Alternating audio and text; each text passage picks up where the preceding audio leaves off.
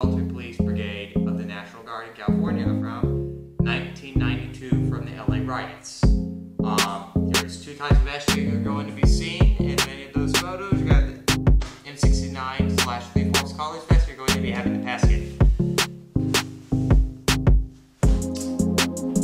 So I'm going to be making comparison between them. So you may immediately up, course, it's going to be this. It's, going to be caliber vest. But M69 this is going to be a lot thicker.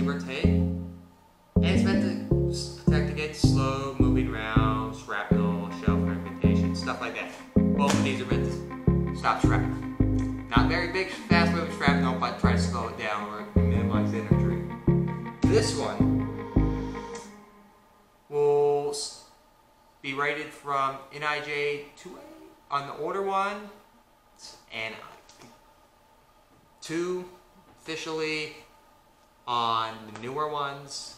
You could possibly pass it off as an NIJ 3A. I wouldn't trust it like that. You're better off getting NIJ 3A vest, but approximately.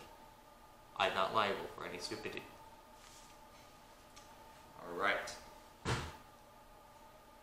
Now, you might say, uh, which one is better in a riot control situation? Well, depending on what you're facing up against. If you're being shot at more, like I said earlier, it's going to be the PASGT. But if you're going up against the rioters face to face and they have bricks and sticks and all that fun stuff, it might actually be the M69. The reason I say this is here you see it M69. As you see how this right here, you can see it, Mm. enhance.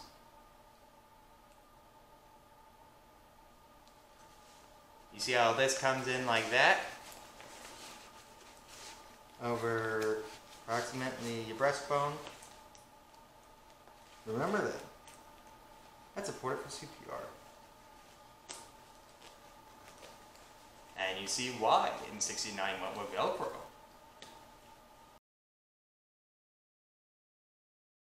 Alrighty.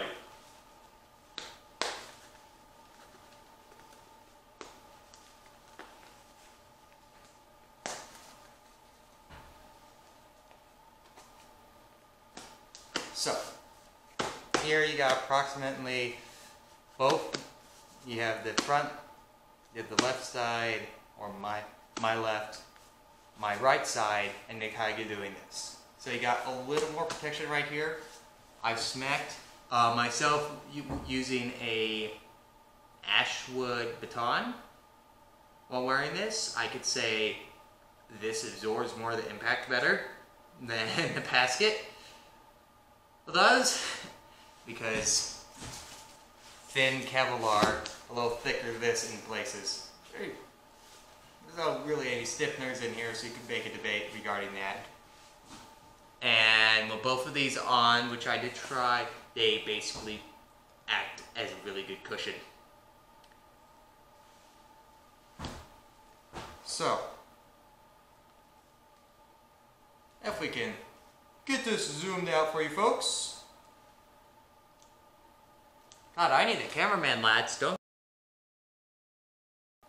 There we go, lads. I'm sorry about that little technical difficulty. Alright. Here we are, National Guard Dependent 1. All I need to get is the baton holder. That'll be pretty good. I hate the LC2, I believe is what they call this. I hate it.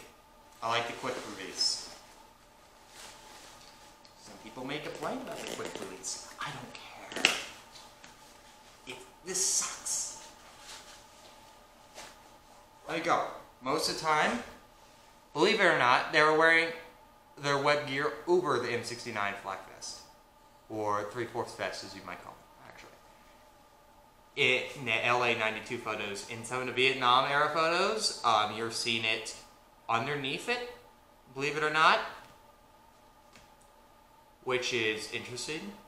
But this is apparently how they did it. Going, we're gonna treat it like it's PASGT vest. So we're gonna put helmet on, which is the, the nice real PASGT, and not basically a white lightweight helmet variant. As you see, We got it. like this. Got lot better protection here around the neck. I like to call it turtling. You got the covering, got pretty good protection. Of course, it's not exactly as great as Kevlar, but it will work. So you have this. There we go. This is only in process. Just showing it out to you folks what it looks like for those that are curious. And hopefully I give a ton holder soon. And also regarding this holster, this is a M12 holster. This is the more accurate one. This was for an M9 Beretta. Um, when I originally had corrected myself in the previous 92 National Guard unit impression video, I had said originally 1911 was issued and in some cases still in use. And I corrected in the little subtitles. No, that was not true. I was right the first time. There are several photos of National Guardsmen with 1911s holstered on their waist with even leather holsters. So,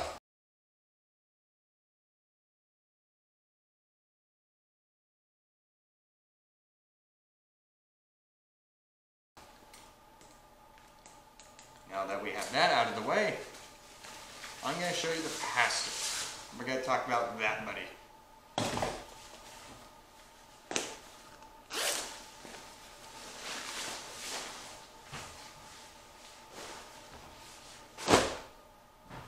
Ah, Del Pasco. It's my as you might say.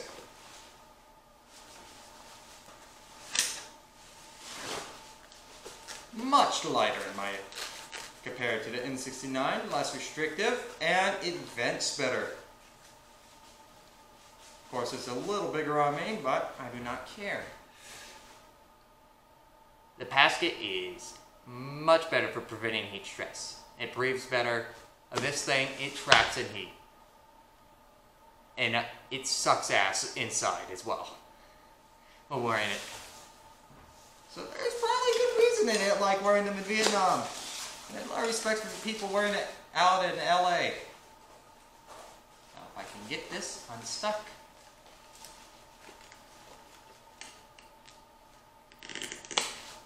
Now you have a lot of folks wearing it like this, with a PASGT vest. You see? Much nicer.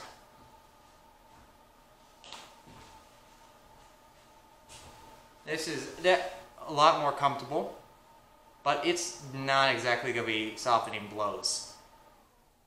It's thin enough material where it's not going to be doing much. It's not really meant for padding. It's meant to stop it. You see, thinner around the neck, which isn't very helpful in a right situation. Great for shrapnel, helps slow down stuff, you know. But it's absorbing as well as going to the M69 3 Force vest.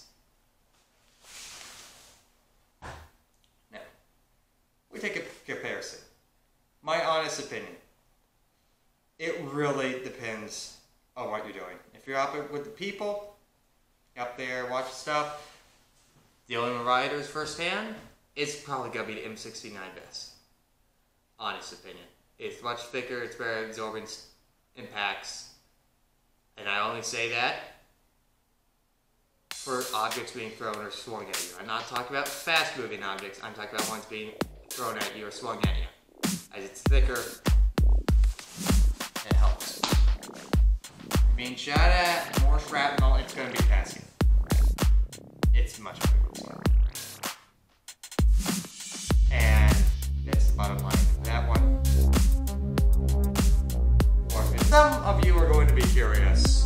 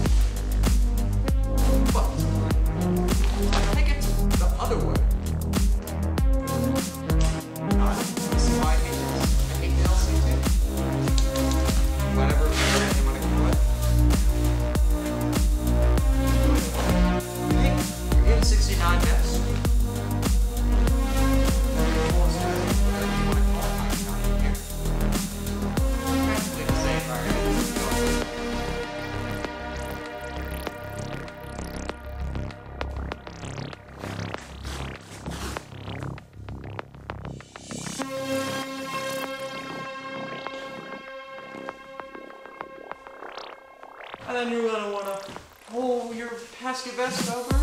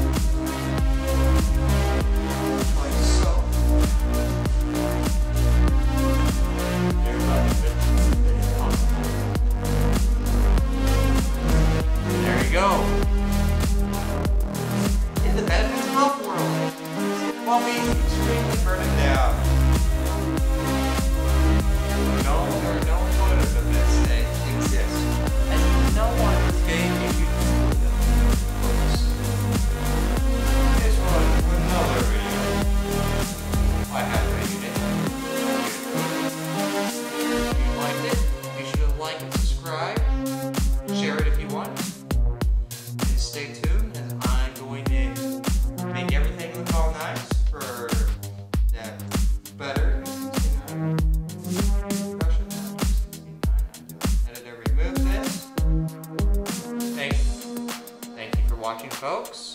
Make sure to like and subscribe if you enjoyed this content. And stay tuned as I am going to be making the LA 92 impression as a 49 MP brigade